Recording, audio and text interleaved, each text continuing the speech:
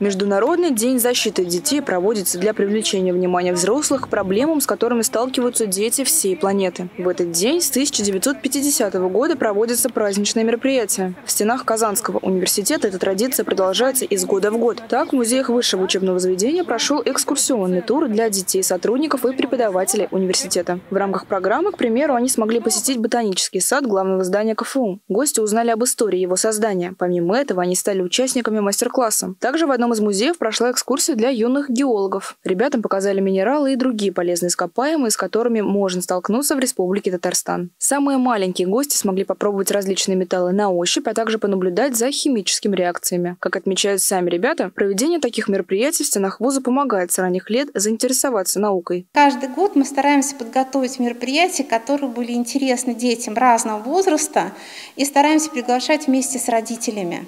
Потому что когда это вот такое семейное путешествие, это общие впечатления, они к нам, как правило, приходят на разные наши мероприятия, мы всегда их ждем и всегда им рады. Мне очень понравилось, все красочно, ярко, все породы очень красивые, хорошо экскурсовод очень рассказывает, мне так интересно вообще, завораживает.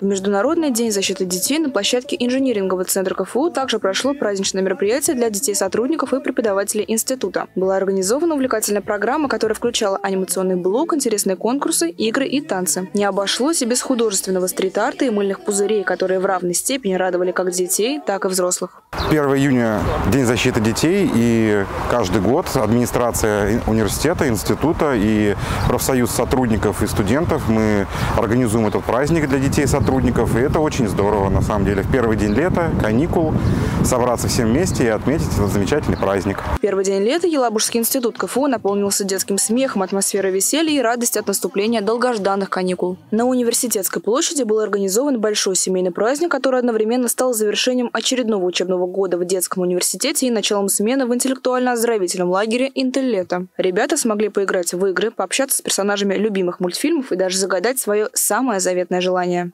Смена интеллектуально-оздоровительного лагеря «Интеллета» продолжится до 21 июня. Ребят ждет обширная творческая, спортивная и образовательная программа. Было очень э, красиво и интересно. Мне понравилось в прошлом году, и я решил э, в этом году тоже пойти в лагерь. Это очень весело, очень энергично. И я хочу еще побывать на следующее лето. Здесь очень много музыки и очень много толпы людей. Дети – будущее страны. Они, как никто, нуждаются в защите и поддержке взрослых. Каждого из нас. Карина Саяхова, медиацентр Елабужского института КФУ, медиацентр Набережно-Челнинского института КФУ, UniverNews.